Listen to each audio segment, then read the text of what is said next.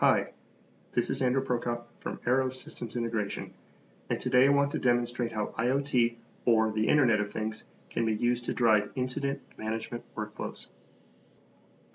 To do so, I've put together a flow that begins with a multiprocessor sensor. This sensor, a Silicon Labs sensor puck, detects and reports temperature, humidity, UV level, light, and heart rate. The puck pushes data into the Arrow Connect IoT cloud.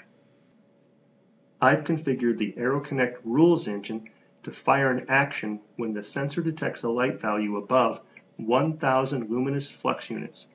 When that occurs, I've configured Arrow Connect to send a RESTful web services call to an Avaya Breeze workflow. This workflow will then send a text message alerting me of the light condition before creating a ServiceNow incident report.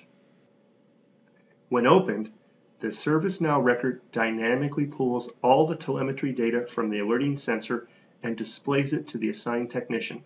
The technician can manually refresh the record with the latest telemetry information as he or she deals with the issue. Did you get all that?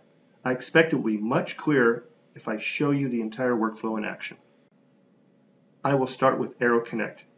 I created an action that fires off a RESTful web services request when the sensor detects that the light has exceeded 1000 luminous flux units. That request is sent to my Breeze server. As part of the message body, I pass along the device ID of the alerting sensor. Using Breeze, I created a very simple workflow that is launched when the Arrow Connect Web Services call arrives. It sends a text message announcing the problem before invoking ServiceNow to create a new incident report. That incident report will indicate what the problem is and which device is experiencing the problem. This takes me to ServiceNow. So in ServiceNow, I created a ServiceNow application. This ServiceNow application allows me to monitor my IoT devices. So remember back in the Breeze workflow, when it created a new ServiceNow incident report, well, this is one of the incident reports that was created. So ServiceNow assign, automatically assigns me a number. I have the description that came from the Breeze application, which said this was a light threshold exceeded incident. Here's the device that caused this event to occur. So let me open this up. Now notice there's a little delay for those telemetry values because what's happening right now is ServiceNow is going out and asking Arrow Connect to return all the current values for this particular sensor. So the incident was created when the light went above 1000. But at this point now the light has dropped down to 354.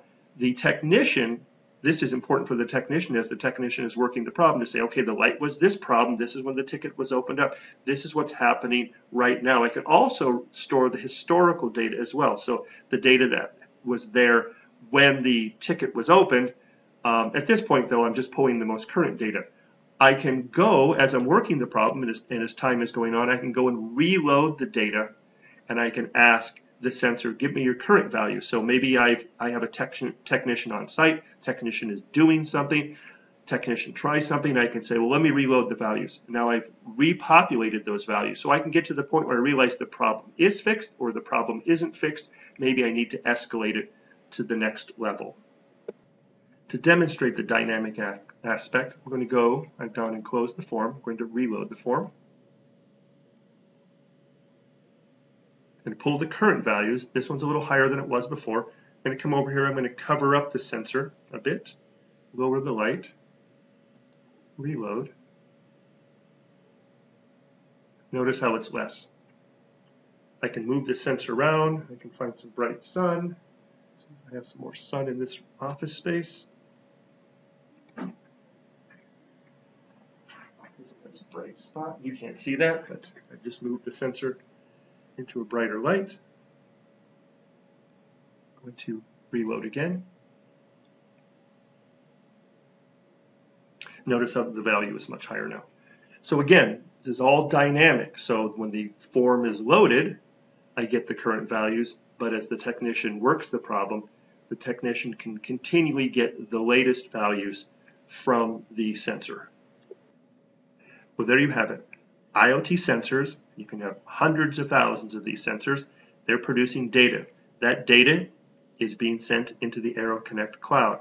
Arrow Connect cloud allows me to put rules on that data. So I may have terabytes of data, but only a small amount of it is actionable. So I attach rules onto the data. Those rules, in my case, are firing off a Breeze application. I could have gone straight to ServiceNow, but going to Breeze has its advantages because I get the advantages of what Breeze can do in terms of uh, phone calls and database steps and other web services calls and if then else logic and attribute routing for contact center agents and on and on and on.